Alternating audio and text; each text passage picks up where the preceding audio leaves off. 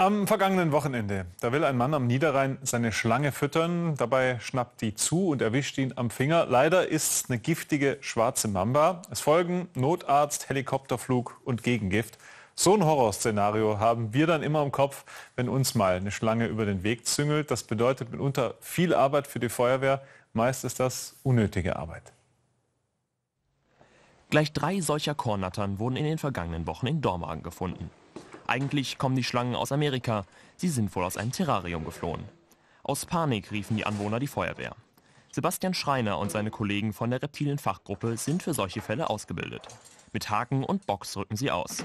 Die meisten Anrufer können die Schlange nicht sofort zuordnen.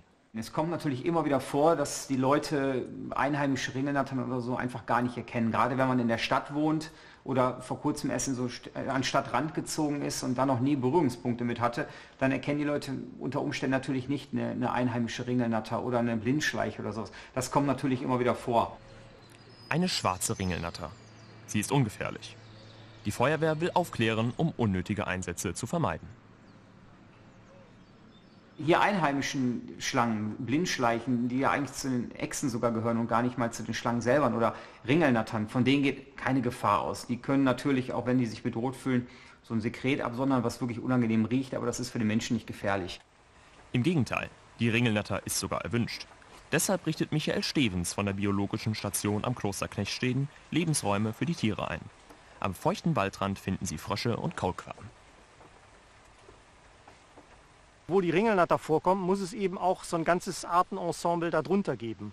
Das heißt, angefangen von den Amphibien bis hin zu den Lebensräumen, dass hier wirklich äh, so ein ganzes Arten, eine ganze Artengemeinschaft gefördert wird. Und das ist der eigentliche Grund, warum wir die äh, Schlange fördern. Abgesehen davon ist die Ringelnatter im niederrheinischen äh, Tiefland ist sie vom Aussterben bedroht und als Art eben äh, auf Hilfe angewiesen. Stevens sucht unter den Brettern und an den Trockenmauern. Unter einem Brett entdeckte er eine kleine Blindschleiche.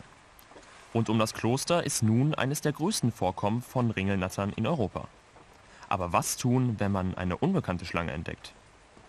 Wenn man die Möglichkeit hat, das Tier zum Beispiel im Garten zu sichern, indem man einfach einen Eimer oder sowas drüber stülpt, damit man verhindert, dass das Tier verschwindet, bis wir wieder da sind, ähm, kann man das natürlich machen. Aber grundsätzlich, wenn man sich nicht mit den Tieren auskennt, würde ich immer empfehlen, dass man Abstand hält, nicht das Tier versucht anzufassen oder selber zu fangen, weil es kann natürlich auch sein, dass es was nicht Einheimisches ist.